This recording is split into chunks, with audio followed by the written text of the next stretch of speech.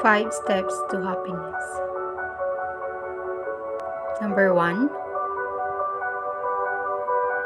think less about yourself and more about others. Number two, talk less and do more. Number three, frown less and smile more.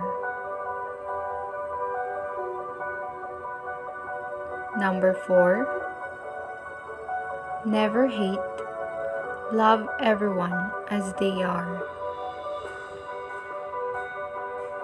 Number five, enjoy both good and bad things in life.